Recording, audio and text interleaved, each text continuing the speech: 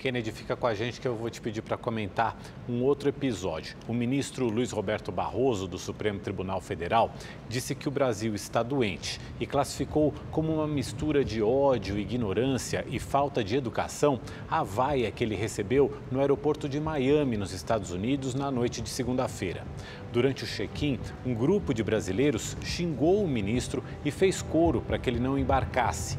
O ministro da Justiça, Flávio Dino, disse que vai enviar um ofício à presidente do Supremo, Rosa Weber, colocando a Polícia Federal à disposição para investigar casos de agressão e ameaças aos ministros.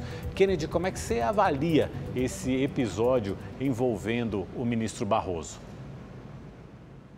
Mauro, vai é uma coisa democrática, né? Não tem problema alguém ser vaiado. Agora, o que aconteceu com o Barroso foi muito além disso. Porque um protesto democrático, se discordar, achar que o Lula não deveria ter voltado à presidência, ser contra o PT, isso é normal numa democracia.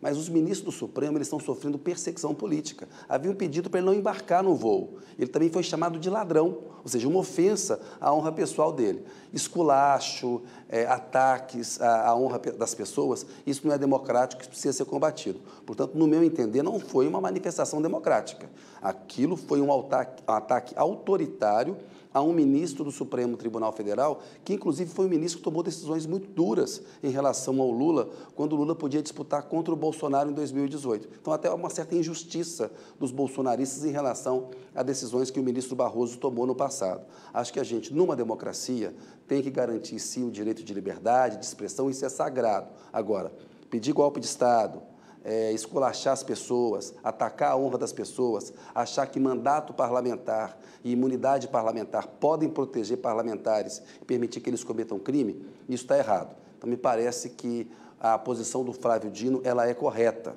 Né? Ele quer colocar, vai colocar os instrumentos da Polícia Federal e do governo à disposição de eventuais crimes que podem ser cometidos contra autoridades. O que a gente viu há, há poucas semanas em Nova York, com ministros sendo perseguidos, chamados, xingados, isso não é, isso, isso não faz parte da democracia, Mauro. Isso não pode ser admitido.